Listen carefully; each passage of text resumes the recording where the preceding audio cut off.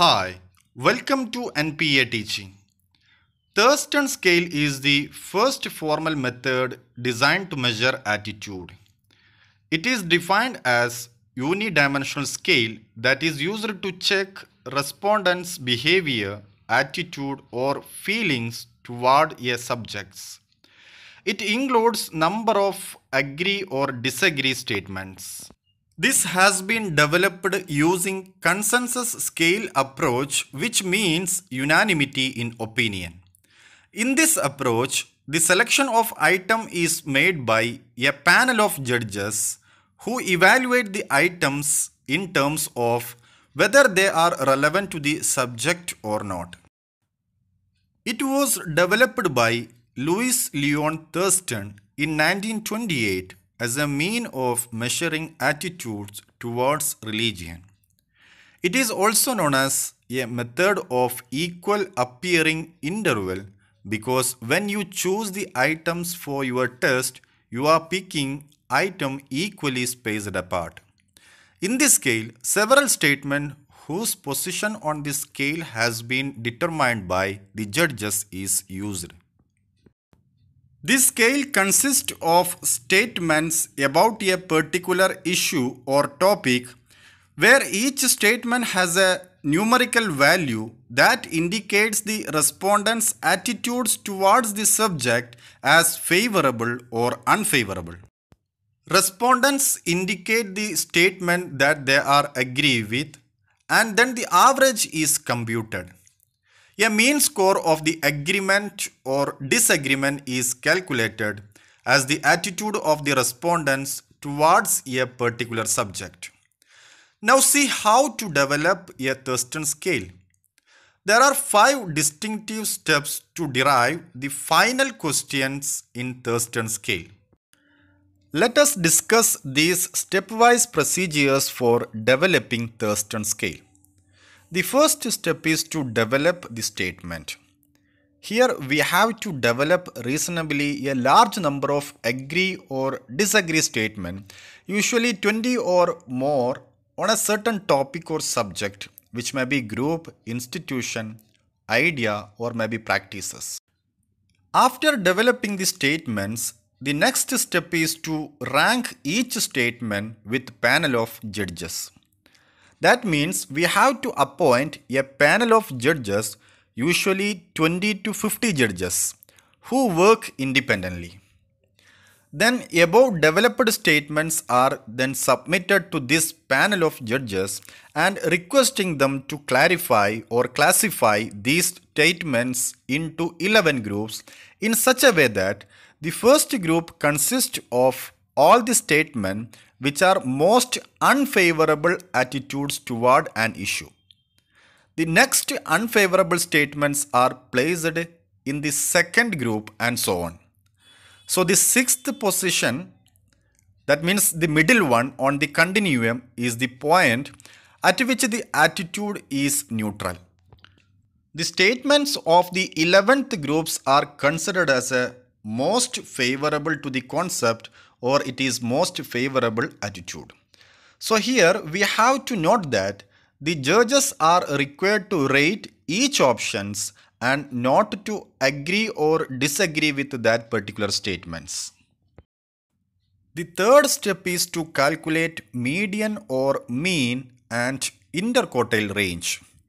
So see here, after judges complete the rating about the statements, then these data collect from all the judges and then you need to compute mean or median and interquartile range to which it is assigned by a group of judges for each statement. So I hope you know how to calculate mean or median and interquartile range. See here, the median is the value above and below which 50% of the ratings falls. That means most middle item.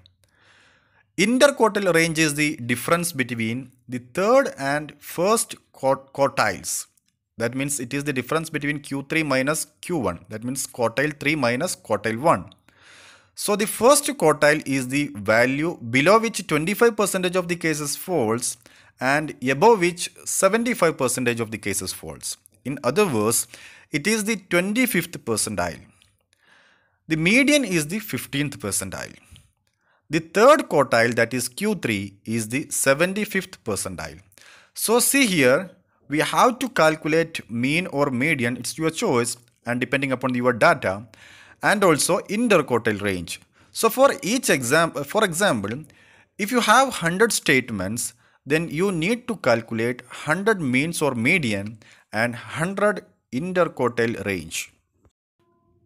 After calculating the median and interquartile range, the next step is sorting the table or arrange the table.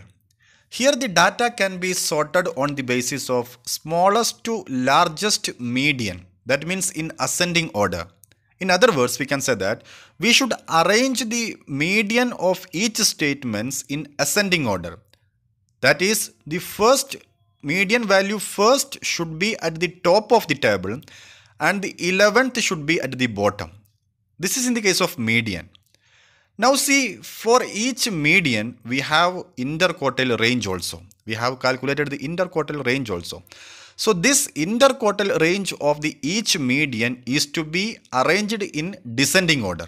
That means largest to smallest. So median should be arranged in ascending order and interquartile range should be arranged in the descending order. See, we can discuss one example. See, this is the table where I have calculated the median or mean and interquartile range values. So here I have arranged the median in ascending order and interquartile range in descending order. See the median value of the statements of 33, 38, 10 and 3 is 1. But its interquartile range is varies. The median values of statement 17 and 23 is 2. Then the median values of the statement 21, 11 and 34 is 1. So see here the median is arranged in a ascending order. That means it is starting from 1 and it will goes up to 11. But see the value of interquartile range which is arranged in a descending order. The median values of the statement 33, 38, 10 and 3 is 1.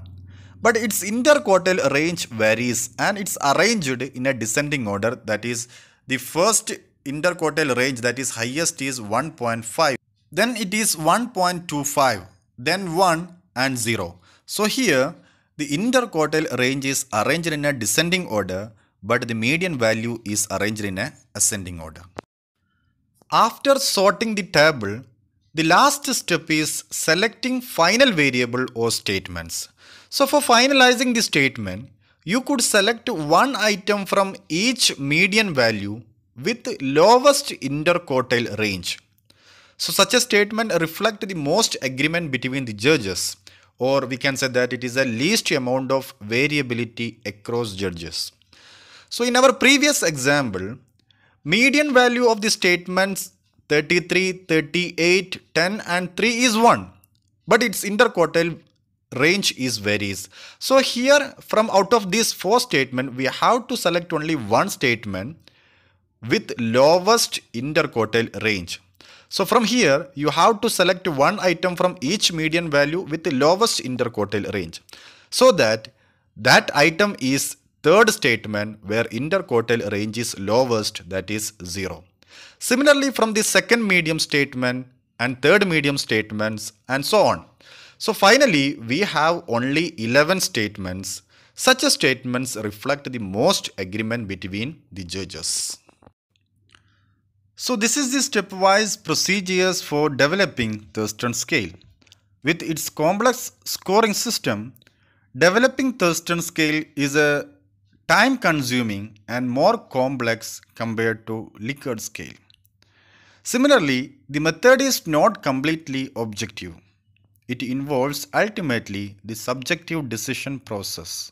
That means the involvement of intermediary judges can add the factors of potential unreliability or bias to Thurstone scale. I hope you are clear about the concept of Thurstone scale and its procedures for developing the same. Have a nice day and see you in the next video. Thank you.